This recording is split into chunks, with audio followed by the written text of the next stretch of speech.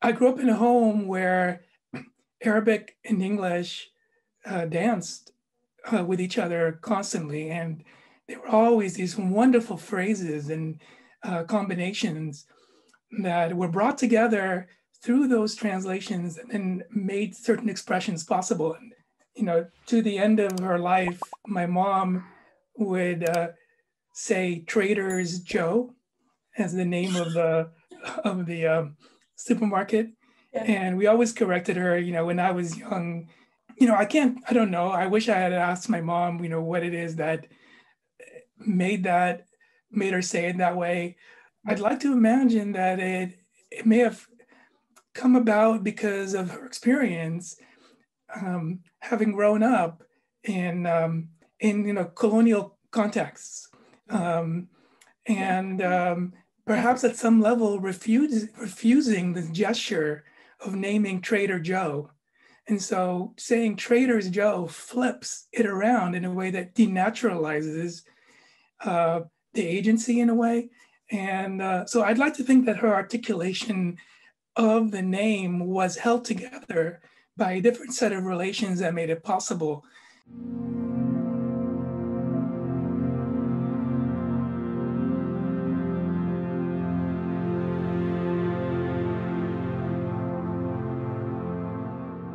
Hi, everybody. This is Literature, Language, Culture, a dialogue series. I am your host today, C.R. Grimmer, and our guest is Anis Bawarshi. Anis, would you introduce yourself? Hello, everyone. My name is Anis Bawarshi, and I am um, faculty member in the English department and currently the chair of the department. Um, prior to this, I was uh, director of the expository writing program, and my work uh, focuses primarily around um, writing studies and rhetoric, and uh, especially how um, students uh, learn to write and how writing development works and what writing does in the world. Cool. And where can people find you online if they want to follow up after today's episode? You know, I have a faculty profile on the English Department website, um, and you can just find it by typing in my name, Anis, A-N-I-S, Bawarshi, B-A-W-A, RSHI. For everybody listening or watching, we'll have those links in the description below. And the English department now has social media channels if you want to follow us there, because we'll post updates about the series. And we now also post updates on what's going on in the English department, which with Anis being chair of the department, that seems especially pertinent to today's episode, because there's been some exciting evolutions, I think, in the year of COVID in some ways.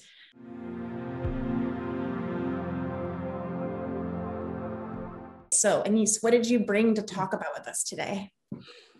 So, I brought a word, uh, the word articulation.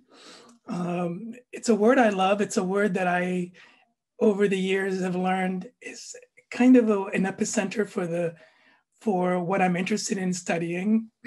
What I love about the word is that it has a double meaning.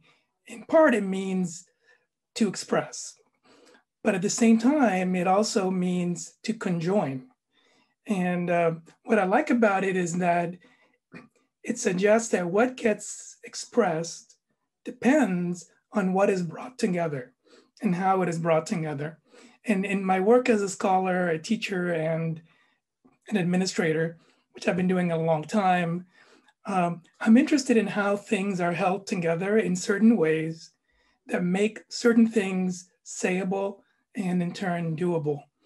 So I pay a lot of attention to um, to the in betweens, you know, the seams, the stitches, the connecting points that makes things, on the one hand, possible, and conversely also difficult to do.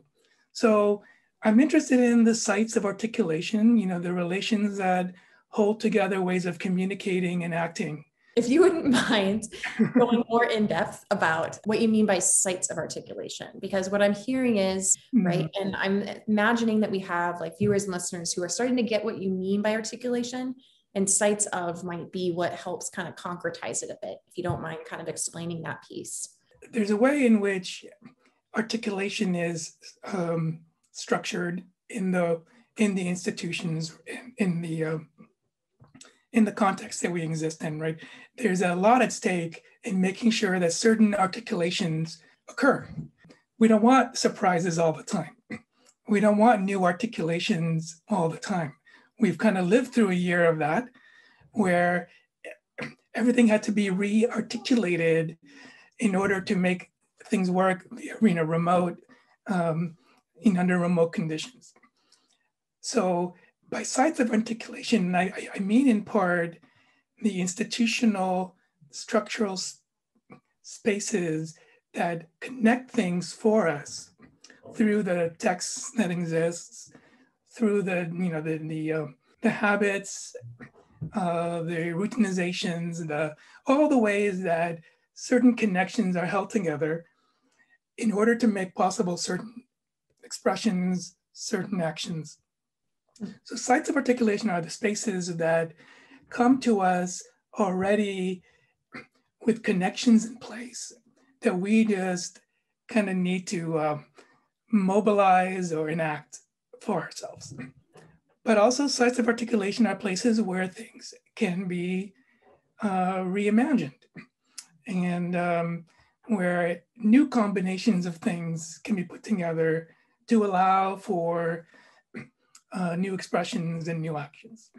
So that's what I, what I mean with by sites of articulation. And then I'll give an, kind of an example from my scholarship in, in, in genre theory, because one site of articulation for me are genres.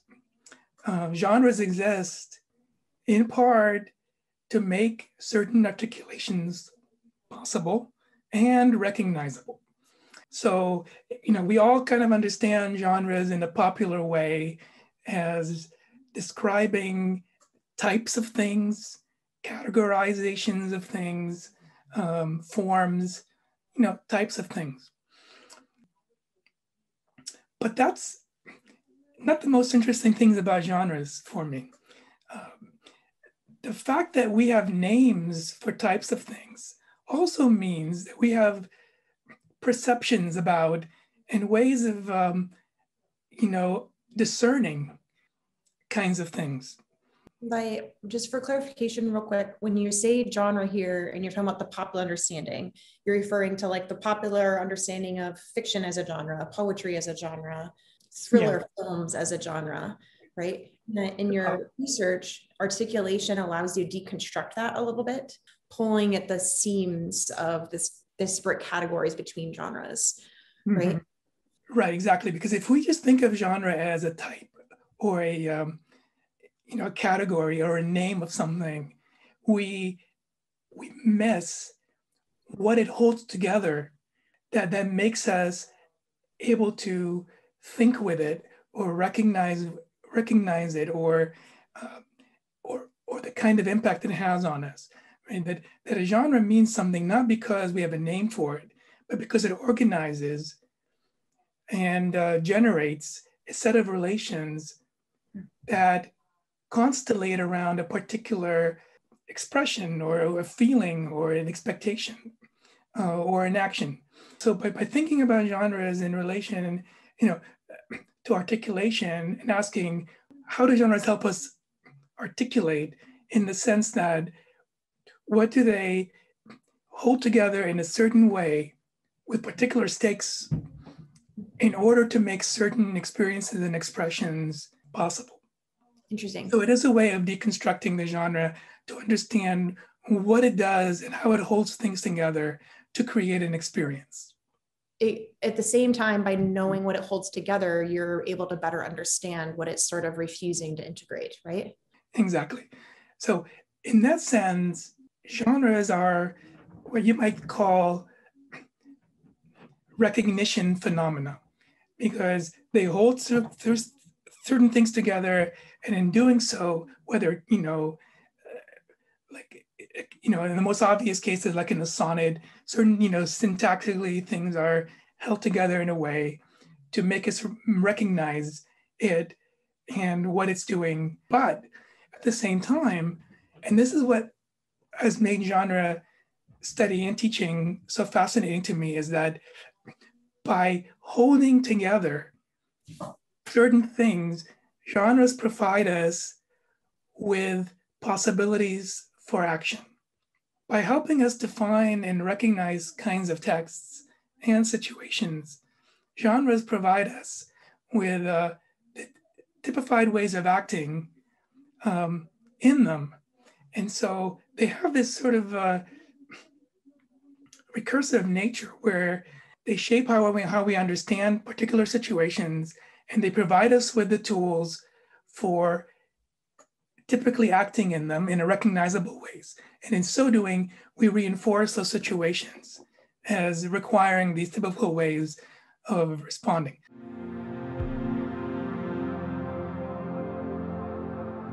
Can you explain how um, this concept of genre, right, as making possible different sets of actions um, through different potential articulations that have to adhere to that recognition, but also mm-hmm. us to act, right? Functions and things that we experience in the everyday world. Yeah. Yeah. I think one of the things that was uh, such a breakthrough in my thinking about genre was that genres don't just respond to recurrence as if recurrence was its kind of natural phenomenon but they are one of the ways in which we create recurrence. Because of the way that we respond to things that we perceive as, occurring again and again that further um, that further creates the need for those kinds of responses so it naturalizes recurrence and uh, there's a quote by Dylan Dryer that i think um, gets at this, and then I'll give an example. But the quote is uh, genres persist because they frame what they permit as that which is poss- possible. Genres persist because they frame what they permit as that which is possible. So there's this, I'll give an example from what I referred to earlier with the employment the, the need to apply for employment is a recurring event in our society. And to help us respond to this recurrence, we have a set of genres. You know, we've developed a set of genres, culturally specific, to help us respond to this recurrence, such as resumes, cover letters, letters of recommendations, and all the other uh, apparatus. And it's you know, and it's an interesting thing that genres, the genre of the resume was actually invented in business writing textbooks. There's a great article on the history of the resume by Randall Popken that discusses all of this. Like, like the genre sort of started not out of a natural need, but out of instructional, pedagogical guidance that then came to have such a forceful impact in, in the world. So anyway, so if we take the, you know, so these genres that are in place for for responding to um, the event of applying for employment, they they help us um, take action in a way that is recognizable and expected. Um, but they also do something more powerful. They structure how we present our experiences, including what experiences qualify, what parts of ourselves we share and what do we um, don't feel permitted to share about ourselves. And even more powerfully than that, knowing that the resume exists as one of the ways that we apply for and seek employment, many of us begin to shape our lives in ways that prepare us to write the resume.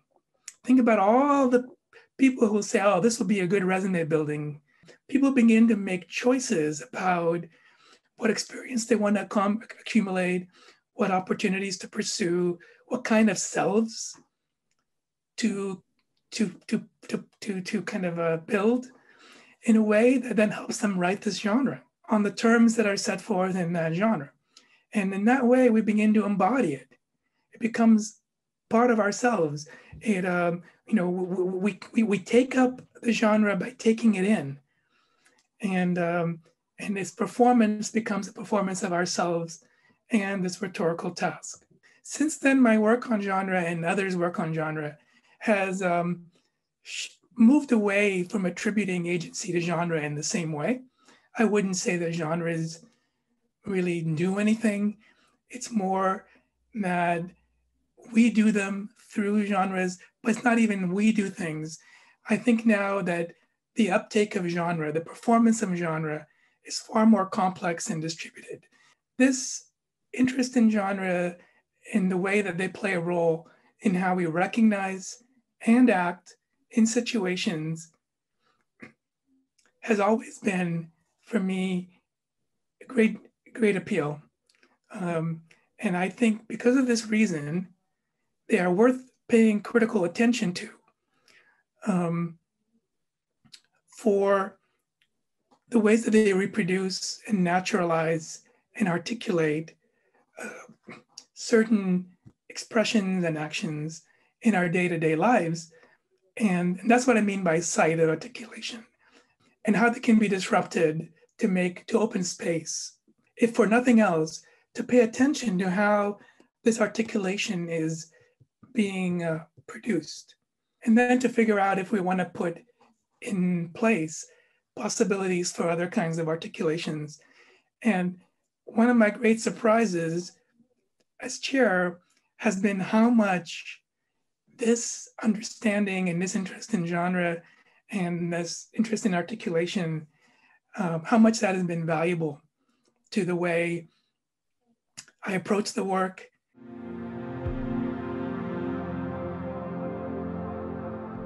I think we have a pretty rich understanding, and thank you for that. Actually, that was wonderful um, about articulation, genre, these concepts, the friction, right, that they each carry um, as both categories and category makers, uh, so to speak, um, and, and, disruptors. What does that have to do with being department chair?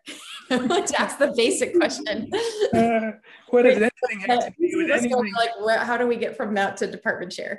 You know. Uh, yeah, yeah, yeah. Um, so um, this has actually been one of the sources of um, sustenance for me and uh, made me realize that being an administrator didn't mean this separation from your intellectual and pedagogical life if you know how to recognize it as intellectual work. Um, and I think I was fortunate enough, partly because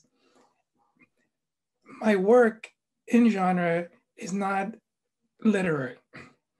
So I've already been trained for years to be understanding how institutional genres work to mobilize uh, language, discourse and actions. This is part of what I study. And um, so the genres that I was now um, immersed in as, as an administrator, the, the genres that transact the, the business of the department and the institution were already intellectual uh, sources for me. The, it was an archive that was already intellectual for me. But, you know, it occurred to me that if part of our department's strategic goals um, intellectual mission is to think about um, how do we conduct our business and in what ways has that means of conducting our business made possible certain things and prevented other things from being possible. Uh, this is this to me cannot be separated from the events of the last two years that have put into stark recognition for us that some of the inequities that we um, we live with are there by design, and and and and they're designed that way because of the sites of articulation that exist, right? Um, I'll give something as something fairly innocuous, but the University of Washington uh, was recently named a Carnegie Community Engaged Institution, right? And we celebrate public work and uh, public scholarship. Um, we take pride in the partnership work that we do. And yet, our documents the genres that exist um, make it very hard to recognize um, and reward that work. And, um, and if we did not start looking at what kind of articulations these documents were doing, we were going to create a situation where people still had to use these existing documents to articulate what we valued, you know, before.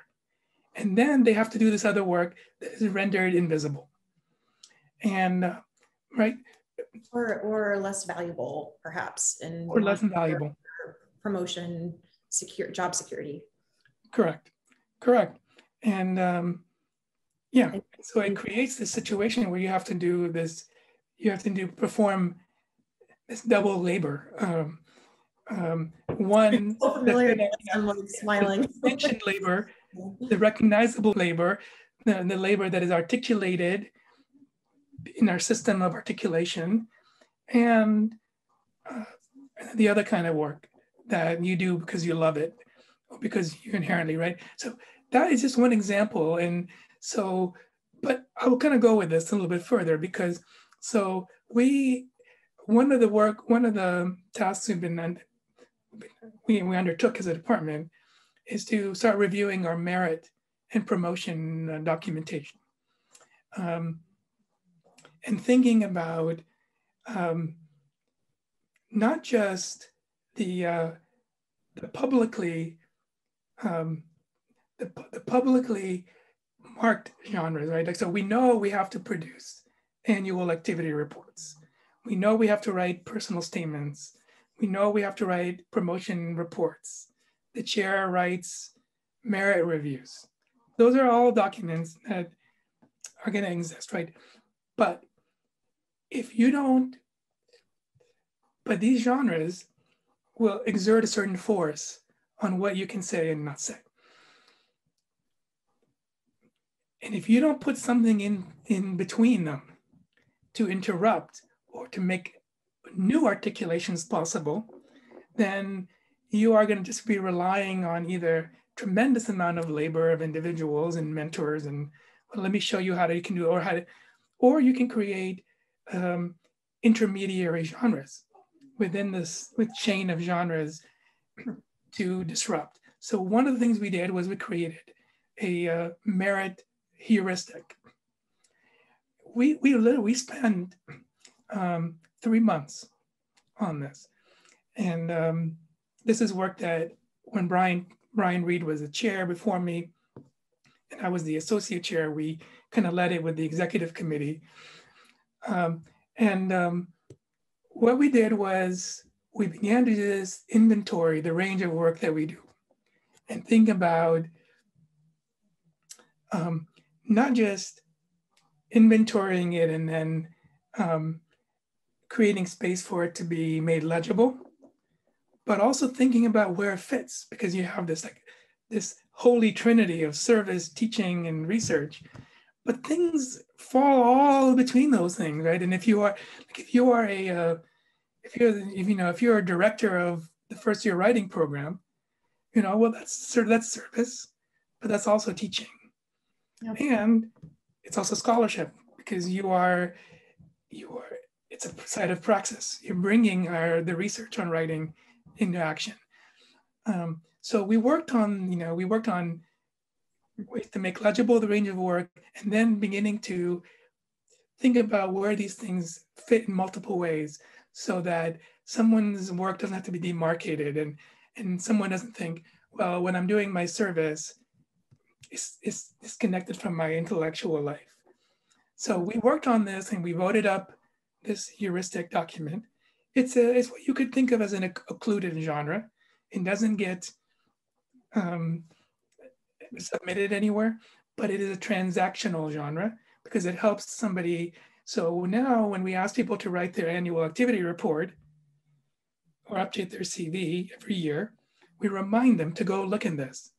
And it helps disorient you know, the, the articulations that already exist that separate things to make possible new combinations. And it's been fascinating because as chair, I have seen a significant difference in the way people articulate their work as a result of that.